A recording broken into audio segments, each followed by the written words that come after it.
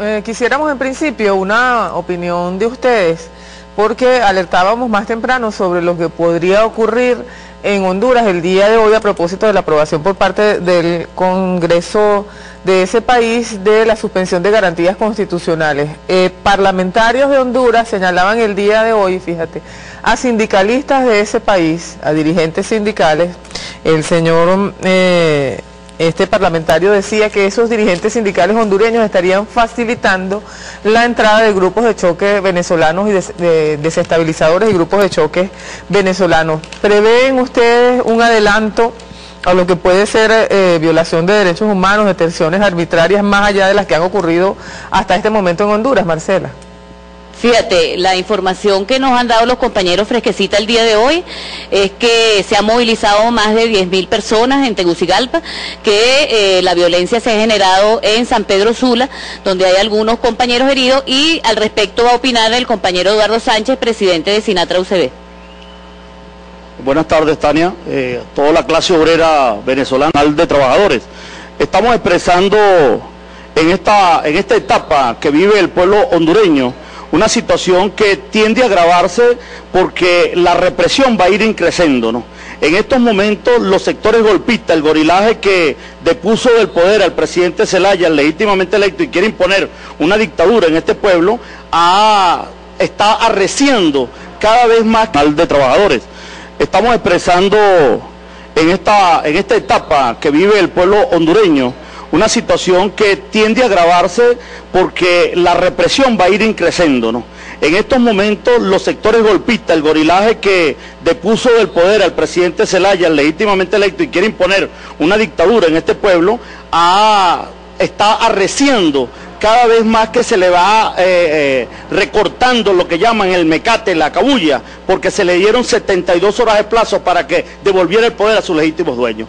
Hoy toda la corriente internacional, desde la diplomacia, desde los países, desde la clase trabajadora y los movimientos sociales, tienen sus coordenadas puestas en el pueblo de Honduras. Allí hay un pueblo batallando por la liberación nacional y la construcción de sus propios espacios de democratización.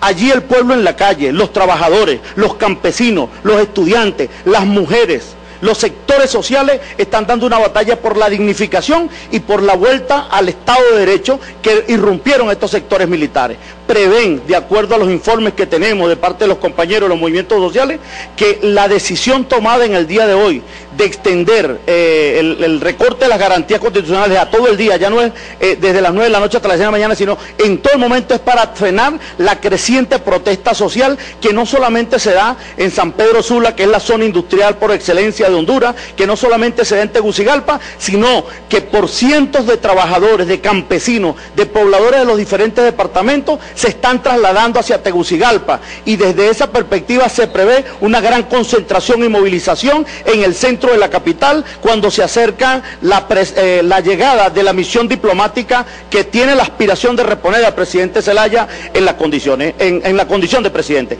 Por eso nosotros no tenemos ningún empacho en saber, porque si alguien tiene experiencia acerca de cómo el fascismo es la clase trabajadora venezolana. Estos sectores capitalistas oligárquicos que actúan de la mano con el imperialismo y en eso no nos caemos en otra mentira. Ningún medio de comunicación y nadie nos va a engañar. La mano del imperio está detrás de este golpe que no tiene nada innovador. Es la reedición de los viejos golpes de Estado, es la creciente expresión de lo que es una guerra psicológica en los medios de comunicación para ablandar el movimiento popular y para tratar de imponer una matriz mediática como que el que violentó los derechos, la, la constitución fue el presidente que fue depuesto. Ahora resulta paradójico que al presidente le ponen una orden de captura internacional cuando ellos mismos lo detuvieron y lo sacaron del país.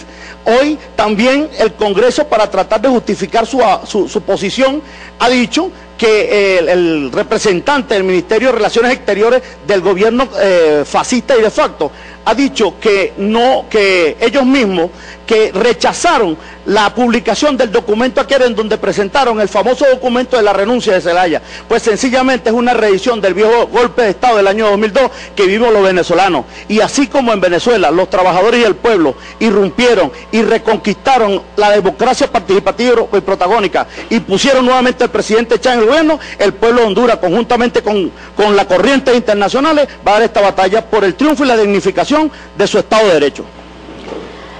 Bueno, buenas tardes. Eh, Lili Rincón, de la Unión de Trabajadores del Estado Zulia.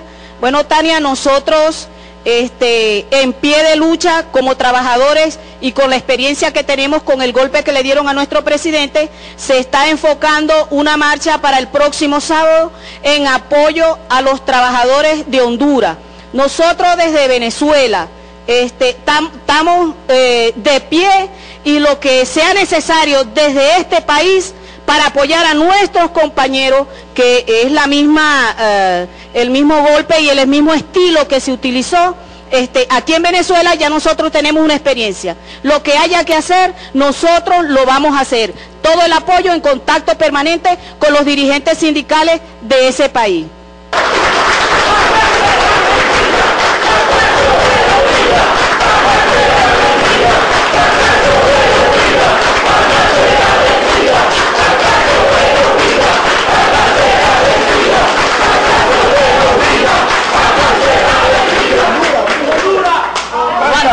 Levanta aí, levanta! Ô, Duda!